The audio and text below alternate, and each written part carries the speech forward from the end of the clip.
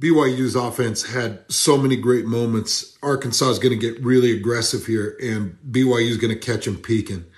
So Arkansas is bringing seven. One, two, three, four, five, six. And they've got a seventh that's going to peek right here on the potential downhill run.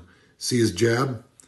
And Jaren is going to put this dime just right on the money so Puka can grab it and turn, use a block, and get upfield. Great block right there by Keanu.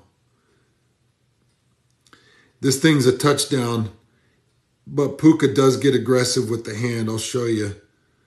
Everything is going to be fine. Everything's fine right there. Fine, fine, right there. Where that hand grips and pulls. Right there. That's going to get you that call. Brings that touchdown back, but and I love Puka's game. I love that kid as a receiver. I love his grit. I love his athleticism. BYU's lucky to have him.